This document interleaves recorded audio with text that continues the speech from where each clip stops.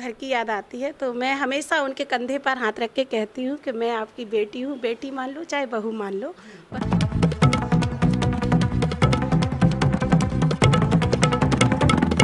नमस्कार, आपकी जन अदालत न्यूज़ से मैं हूँ राजा भैया पाल और आज बांके बिहारी आश्रम में आज बांके बिहारी वृद्धाश्रम की संचालक श्रीमती सीमा चौरासिया जी के साथ आपकी जन अदालत न्यूज़ पर बात करेंगे। जिस तरीके से नवदुर्गा महोत्सव पर सुंदर कांड पाठ का आयोजन यहाँ पर किया जा रहा है और आप देख रहे हैं जवारे का भी आयोजन है बांके बिहारी वृद्धाश्रम में देखने को मिले है। तो ये ये बांके बिहारी आश्रम की सफल पहल है और हमारे साथ जुड़ रही हैं संचालका श्रीमती सीमा चौरासिया जी। आपकी जन बिल्कुल सर आपका भी स्वागत है इस वृद्धाश्रम में। अ, सीमा चौरासिया जी जिस तरीके से इस कार्यक्रम का आयोजन किया है तो ये शासन की गाइडलाइन में था ये आपका निजी विचार था? नहीं ये मेरा निजी विचार था। मैंने ये सोचा था कि मैं अभी स्थानांतरण कर रही हूँ आश्रम का तो शुद्धिकरण के हिसाब से मैंने ये सारे पाठ रखे हुए हैं। हालाँकि नौ दुर्गा पाठ तो वहाँ भी होता था पुरानी वाली बिल्डिंग में लेकिन सुंदर कांड का आयोजन मैंने यहीं किया है। सीमा चौरासी, किस तरीके से आप देखती हैं? आपके मन में ये कब भाव आया कि आपको वृद्धाश्रम संचालन करना चाहिए, वृद्धाश्रम का? ये भाव मेरे मन में जब आया, कहना तो नहीं चाहिए। जब मैं अनमेरिड थी तो मेरे माता पिता पिताजी मेरे विकलांग थे। तो पिताजी विकलांग हुए थे तो मैं बहुत, मैं उनकी सेवा करती थी। लेकिन मैं देखती थी कि भाई लोग उनकी सेवा नहीं करते हैं। तो मुझे उस टाइम बड़ा कष्ट होता था और मैं ये सोचती थी कि मेरी शादी जहाँ होगी, मैं अपने सास ससुर की पूरी सेवा भाव से सेवा करूँगी। लेकिन इत्तेफाक ये हुआ कि मेरी फैमिली ने मेरा सहयोग किया और मैं ये वृद्ध आश्रम लाने में सफल हो गई क्योंकि मुझे तो सेवा भाव बहुत अच्छा लगता है। सीमा चौरासिया जी, आप दबू नगर की एक बहू हैं। तो बहू होते हुए आपको भाग दौड़ करने होती है, अधिकारियों के बीच में मिलना जुलना रहता होगा, समाज के बीच में जाना पड़ता है। तो किस तरीके से अपने आप को महसूस करते हैं? मैं हमेशा अपनी मर्यादा में रहती हूँ। मुझे किसी से भी बात करने में कोई हिचक नहीं लगती है क्योंकि मेरा भाव ही स्व एकदम स्वतंत्र भाव है मेरा और मेरे अंदर कहीं कोई छल कपट है नहीं है तो मेरे लिए तो सभी मेरी भाई और बहन के ही बराबर हैं। आपके सास ससुर ने कभी आपको इस पर ऐतराज़ किया? नहीं। आज मैं उन्हीं की बदौलत अपने सास ससुर की बदौलत ही आज मैं इस सीढ़ी पर हूँ। मेरी सास ने मेरा इतना सहयोग किया कि मेरी माँ भी इतना सहयोग नहीं करती शायद। सीमा जी जिस तरीके से आप जो वृद्धाश्रम का संचालन कर रही हैं तो आपके वृद्धा आश्रम का जो नियमावली है जो आपके दिन भर का जो आपकी वो है किस तरीके से देखती हैं मैं इसको अपने परिवार के तरीके से देखती हूँ। मैं यहाँ पे ड्यूटी के हिसाब से बिल्कुल नहीं आती हूँ। मैं 24 घंटे यहाँ अवेलेबल रहती हूँ। जब भी यहाँ वृद्धों को या मेरे स्टाफ को मेरी आवश्यकता पड़ती है तो मैं तुरंत हाजिर हो जाती हूँ। क्या शेड्यूल है आपके? शेड्यूल हमारा यह है कि हम यहाँ पर नौ बजे आ जाते हैं सुबह, क्योंकि अभी स्कूल नहीं चल रहे हैं। सुबह नौ बजे से लेकर रात्रि नौ बजे तक मेरी यहीं सेवा रहती है। ना मैं घर जाती हूँ, ना मेरा कहीं कोई आना जाना है। मैं पूरा समय अपने वृद्धाश्रम में ही देती हूँ।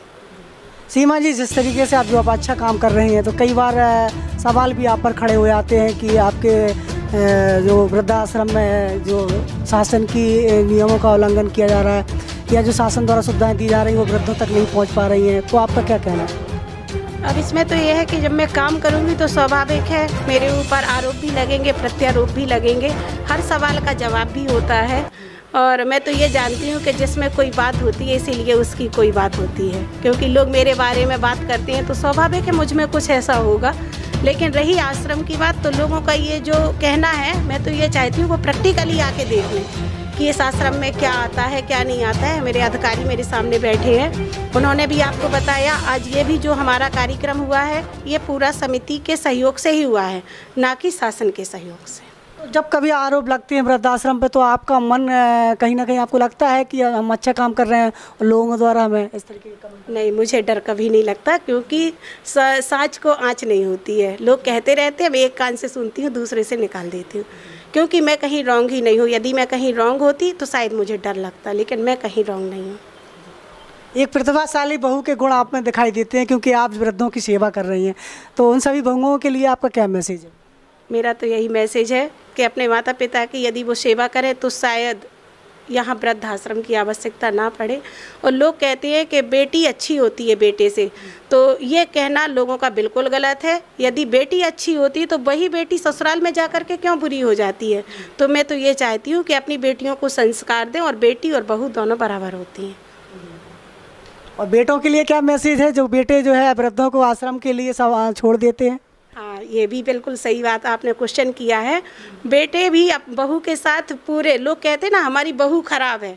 तो उसमें बेटे का भी कहीं ना कहीं सहयोग होता है क्योंकि आज तक मैंने नहीं सुना कि कोई शादी से पहले अपने माँ बाप से अलग हुआ। शादी के बाद ही क्यों अलग होता है? तो उसमें कहीं ना कहीं बेटे का भी हल्का सा हाथ तो है।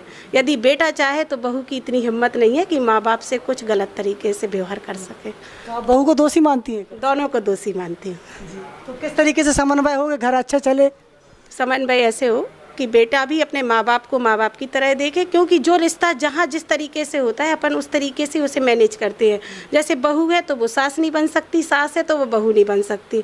तो मैं तो ये चाहती हूँ कि अपने बेटा और बेटियों को संस्कार दें तो ये सारी नौबत आने वाली बिल्कुल नहीं है। कहीं भी ये नौबत नहीं आएगी। तो इस समय बांके बिहारी वृद्धाश्रम की संचालक श्रीमती सीमा चौरासिया जी आपकी जन अदालत न्यूज़ की विशेष वार्ता में जुड़ी हुई हैं और आज नवदुर्गों के महोत्सव पर सुंदरकांड का आयोजन और जवारी का आयोजन किया गया है। वृद्धों के आश्रम के लिए, मन शांति के लिए, सद्बुद्धि के लिए और उन्हें कहीं घर की जब याद आती है तो किस तरीके से आप उनके दर्द को संभालती हैं? जब उनको घर की याद आती है तो मैं हमेशा उनके कंधे पर हाथ रख के कहती हूँ कि मैं आपकी बेटी हूँ बेटी मान लो चाहे बहू मान लो और हमारे वृद्ध घर जाने के लिए तैयार ही नहीं होते हैं। इसलिए मैं तो यही चाहती हूँ कि मेरे वृद्ध यहाँ खुश रहें और मेरा जीवन भी यहाँ सफल हो गया। यहाँ तो आपके जीवन का लक्ष्य पूर्ण हमारा तो लक्ष्य पूरा हो गया है। तो सीमा चौरसिया जी, आपकी जनता न्यूज़ के साथ विशेष वार्ता, इस इंटरव्यू के बाद आपके क्या प्रश्न हैं? क्या सुझाव हैं आपके? क्या कहना चाहते हो? कमेंट बॉक्स में लिखिएगा। और आपकी जनता न्यूज़ की ऐसी इंटरव्यू से आप प्रेरित होते हैं तो शेयर कीजिए, क्योंकि निश्चित रूप से जिस तरीके से आज घर में जो बेटा और बेटी है अपना फ़र्ज़ से कहीं भटक जाते हैं तो उनके माता पिता आप वृद्धाश्रम में दिखाई देते हैं। यदि आप चाहते हैं कि मेरे माता पिता मेरे साथ रहें, मेरे साथ चलें, हम उनकी सेवा करें तो इस इंटरव्यू से प्रेरित होकर के आप आत्मचिंतन करें और जुड़े रहिए हमारे साथ। नमस्कार.